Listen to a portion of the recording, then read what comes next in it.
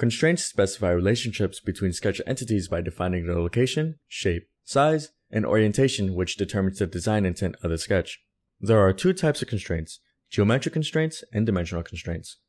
Geometric constraints control sketch relations between entities and define the orientation of sketch entities on the sketch plane. Dimensional constraints determine the size and distance between sketch entities. There are three main steps involved in creating a sketch. First, create the sketch profiles as explained in the previous video. Then, add the needed geometric constraints. This defines the shape of the sketch profile. Finally, add any dimensions to define the size or distance between sketch entities. Defining geometric constraints before inserting dimensions ensures the desired shape is maintained throughout the sketching process.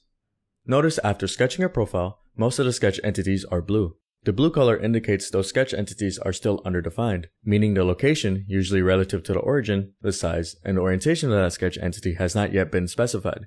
Blue sketch entities can be dragged and repositioned on the sketch plane.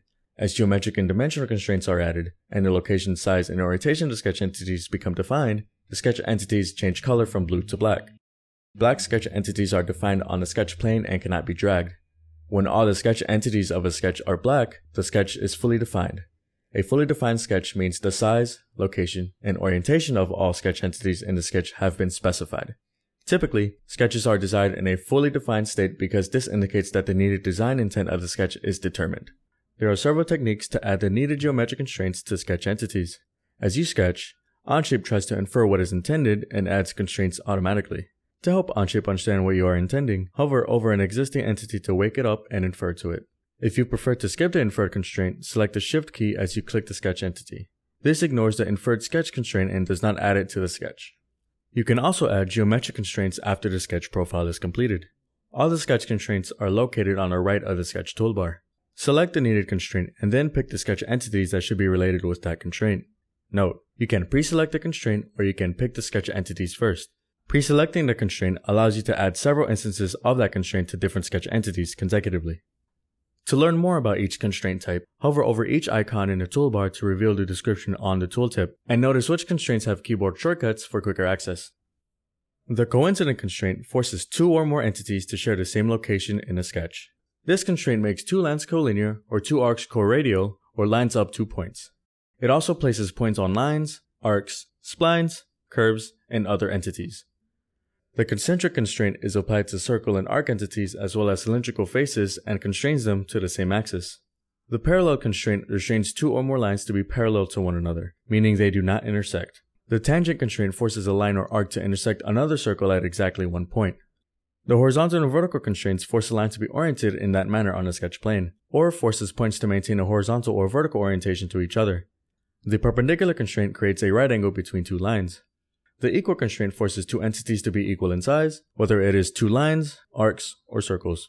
Typically, one of the entities will be dimensioned with a dimensional constraint as well. The midpoint constraint places a point directly in the middle of a line or arc. You can reveal constraints applied to an entity by hovering over it with the mouse, or to display constraints in the entire sketch, check the option in the sketch dialog to show constraints. Constraints can be removed by selecting the constraint box and pressing delete on the keyboard. Blue constraints indicate the related entity is not in the sketch, while white constraints indicate all related sketch entities with that constraint are in the active sketch. Hovering over a sketch constraint dynamically highlights which entities are related by that constraint. Dimensional constraints determine the size of an entity or the distance between entities. This could be a length, angle, radius, or diameter dimension. To define any of these dimensions, simply select the dimension icon in the sketch toolbar. You can quickly access the dimension command by using the keyboard shortcut D. The sketch tool is smart and adds all dimensions to sketch entities dependent on the type of entity or entity selected. To define a length, click on a line once with the dimensional tool selected, then click again to place the dimension, key in the needed value, and press enter. Clicking on a circle or arc in the same manner places a diameter or radius dimension respectively. To add a dimension placing a distance between two entities, with the dimensional tool selected, click one entity, then the second, then click a third time to place the dimension, key in the value, and press enter. The same technique can be used to create an angle dimension between two lines. Dimension values can be edited by double-clicking on a number and keying in the new value, then pressing enter. They also can be removed by selecting the dimension and pressing delete on the keyboard. Both geometric and dimensional constraints are necessary for sketches to become fully defined. Fully defined sketches with black sketch entities indicate the design intent has been determined by the way the sketch has been constrained. If any blue entities remain, then the sketch is still underdefined. If you apply too much information and add too many constraints that might contradict each other, Onshape cannot solve the sketch. Red entities and constraints result in an overdefined sketch. To troubleshoot an overdefined sketch, focus on removing any red constraints that are not needed. It is important to fix overdefined sketches before moving to the next feature, as this can affect the regeneration of the feature list. Defining sketches with constraints is a vital step to produce the correctly shaped and sized part.